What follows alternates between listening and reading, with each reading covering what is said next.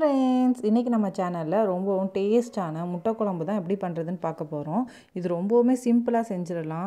ரொம்பவும் டேஸ்ட்டாகவும் இருக்கும். அதுக்கு தேவையான பொருள் வெங்காயம் தக்காளி இஞ்சி பூண்டு பேஸ்ட்டு கொஞ்சம் கருவேப்பிலை தேங்காய் சோம்பு பட்டை கிராம்பு ஒரு தக்காளி போட்டு அரைச்சி பேஸ்ட் ஆக்கிக்கோங்க.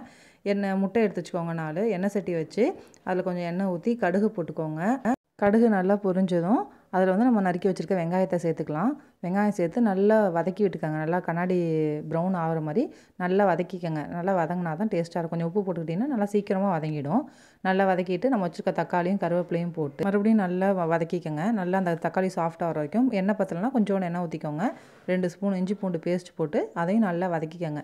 எல்லாம் நல்லா வதங்கி ஒன்றா சுருண்டு வர அளவுக்கு நல்லா வதக்கிக்கோங்க. அதுக்கப்புறமா அந்த எண்ணெயிலேயே மஞ்சத்தூள் மிளகாத்தூள் கரம் மசாலா போட்டு நல்லா மறுபடியும் ஃப்ரை பண்ணிக்கோங்க. எண்ணெயிலே நல்லா ஃப்ரை பண்ணிக்கோங்க.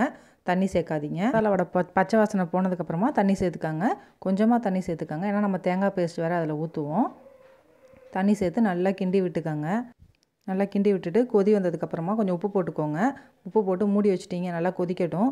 கொதிச்சதுக்கப்புறமா நம்ம அரைச்சி வச்சுருக்க தேங்காய் பேஸ்ட் இருக்கு இல்லையா? அந்த தேங்காய் பேஸ்ட்டு அதில் ஊற்றி நல்லா உங்களுக்கு தேவையான அளவு தண்ணி ஊற்றிக்கங்க கெட்டியாக வேணும்னாலும் உங்கள் இஷ்டத்துக்கு வச்சுக்கலாம். நல்லா கொதிக்கட்டும். கொதிச்சதுக்கப்புறமா நம்ம முட்டை எடுத்து வச்சுருக்கோம்ல முட்டையை உடச்சி நான் இன்றைக்கி வந்து நாலு முட்டை எடுத்து வச்சுருக்கேன். ஒவ்வொரு பக்கமாக உடச்சி ஊற்றிக்கோங்க சிம்மில் வச்சுருங்க.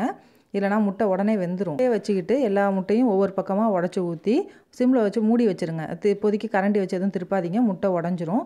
சிம்மில் வச்சு ஒரு அஞ்சு நிமிஷம் விட்டுட்டிங்கன்னா ஒரு பக்கமாக வெந்துடும் அப்புறமா ஒரு தோசை கரண்டியை வச்சு பொறுமையாக எடுத்து திருப்பி விடுங்க. அப்போ தான் அந்த பக்கமும் வெந்து போகும். திருப்பி விட்டுட்டு மறுபடியும் மூடி வச்சு ஒரு ரெண்டு செகண்ட் மூடி வச்சுட்டு கடைசியாக ஒரு ஸ்பூன் மிளகுத்தூள் தூவி விட்டுக்கோங்க. முட்டைக்கு மிளகுத்தூள் தான் ரொம்ப மேட்சிங்காக ரொம்ப நல்லாயிருக்கும் கடைசியாக கொத்தமல்லி இலை தூவி இறக்குனீங்கன்னா சூப்பரான முட்டை குழம்பு ரெடிங்க.